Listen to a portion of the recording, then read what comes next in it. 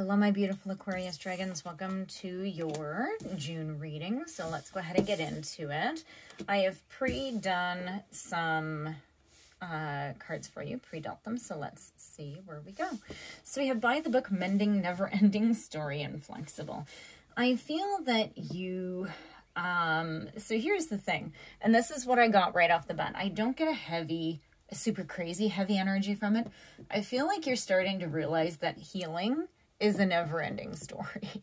okay. It's like, well, I keep trying it and why do I have to keep coming back? But, and, and the reason why I get more of a lighthearted feel with this is that you have flexible. So look at this. You have 10, 10, right? seven and three, sorry, three and seven and one and nine. so this is about moving on. So this is about you knowing that healing isn't just a one-time journey, right? And that you're going to keep growing and you're going to keep um, dedicating time to yourself. So if you don't know that yet, now you do. I'm sorry, guys. I have a frog in my throat. Let me just take a sip. I'm sorry. Okay, so Let's get some cards for you guys. Aquarius.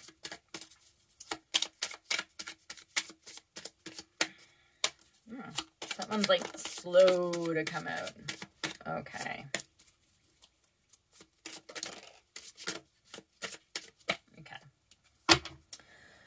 So, oh, over here, I'm just going to move these all down for a second. There we go. So over here we have the Four of Pentacles, and it's sort of in a sideways position. So I feel like you might have been hanging on to something too tight, and you were sort of stopping the flow.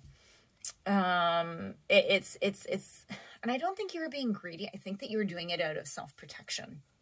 You're very, like, it's like, I'm by the book, right? Very rigid, very, um, I'm just getting very stubborn Okay, no, this has to be done this way, right? And so very, uh, very un-Aquarius like, um, air sign, um, but something sort of made you go into that mode.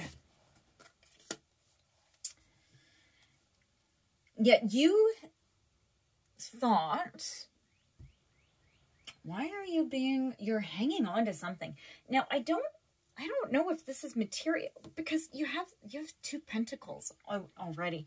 So this is something to do with like either your health, uh, your education, finances, something like that. Um, something to do with business or your job or something. Because then you have the four of wands. So this is like celebration. This is big. Like this is the most positive card. And I think that you thought that your happiness would come from the slow and steady, right? Like maybe you, and I'm hearing like maybe you have an old mindset. And let me explain that. Where if you work really hard for one company, that they'll reward you. Well, that's the way it was when my grandfather worked.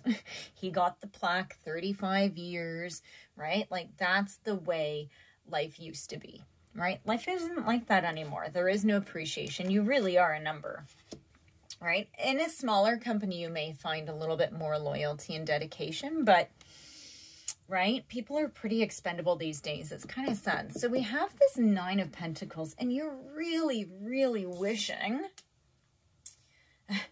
that you could get unstuck. You're really hoping to get out of whatever this is. And there may be some external circumstances affecting you.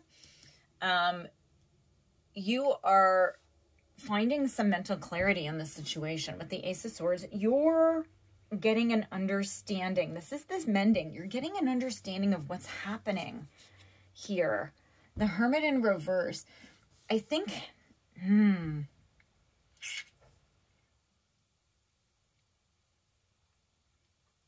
I think that you're going inside to try to sort of rethink this because look at this. It's like you have this headache and it's the hermit in reverse. And it's like, okay, I need to go inside so that I can figure out how to deal with these things, right? You have the Knight of Cups sideways.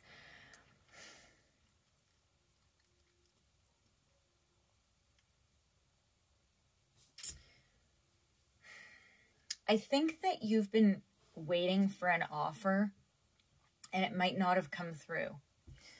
Okay. Um, I don't get a heavy this. I don't get a heavy love reading out of this at all. Look at this because the King of Pentacles is in reverse and the Ten of Wands is in the upright. Yeah, look at that. Oh, okay. Oh, so yeah. So King of Pentacles in reverse. It's like I think you're seeing some of the imbalances that are in your thinking and your mindset. Like I just it like I just want to ask you, why are you being so rigid? and I'm sorry, I don't mean that in a in a bad way. It came to me. It's like, why are you being so rigid? And it's like you need to be more flexible, right? And I feel like through the guidance, okay, so this Knight of Cups is also about people coming in that are friends, right? So these are people who are honest and, and, and intelligent and helpful, and they're coming in to you, okay? And they might be helping you try to move on, right? Um, and that's what this Ten of Wands is about. This is about taking up new responsibilities to start a new beginning. Okay, so this is starting a new cycle. And this is what this is. It's, it's about this never-ending story. Well, it's about ending it. This is walking away from your never-ending story. Because look at this. Six of Swords again, right? This is about a rite of passage, transition, new directions, right? letting go, moving on, right? This is also about moving towards a space of safety and security. And it could be with somebody else. This is the only time love comes into this.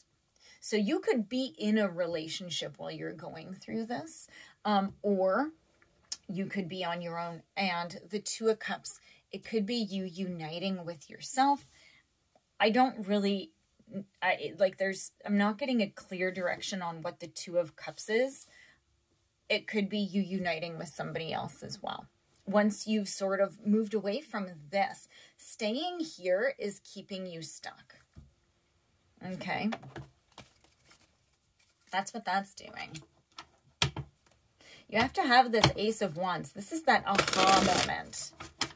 Right? It's that, ah, this is what your raw power breakthroughs, right? This is like, oh, right?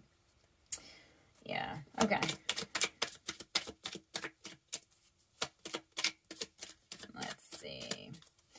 Aquarius. Do you have any clarifications or advice for Aquarius, please? What do you have? You may have somebody in your life that is a um, I'm not going to take all those. You may have somebody in your life because the Queen of Wands came out over this. You know how here I said you might already be with somebody? So this message is for somebody who may have a partner who's actually a Queen of Wands energy. So it doesn't have to be a female, but it could be um, fire sign. Um, yeah. Oh, too many cards. Okay. You could also just have somebody around you oh, who's a Queen of Wands. Okay, so let me just get the cards that fell and see what this is. So first of all, back here is the Magician, bringing everything into balance. And this is what you're being encouraged to do. This is about um, understanding that it is in your power and right now is your time. Okay, you need to move on from this. And as soon as you start, look at this. Yep, you have the 10, sorry, the 9 of swords, the 10 of swords. So this is good. This is progression. You're going to be moving from what's been a nightmare and you're going to be moving past it. This is about making a clean break and it's going to happen quickly and things are going to balance out. Temperance. You're going to learn how to blend things. You're to you're to see I'm surprised that we also haven't gotten um uh, the hangman you're to see things from anew. You need to be flexible. Yeah. Um, just moving on. You will move on and it will happen quickly. All of a sudden you'll be like, it's, and that's all comes from this aha moment. It's just like, whoa, it's just, that's what I see. I see something big for you, Aquarius. You can choose to do this or you can stay here, but, um, you have to make, you have to make the progression on your own. Um, it, it's the time is right. The universe is ready for you to make this jump. Okay. Um, but you don't have a lot of major arcana. So you have to make the commitment to yourself to do this. Okay, guys, please do like and subscribe. I will see you in your mid-June reading. Thank you very much.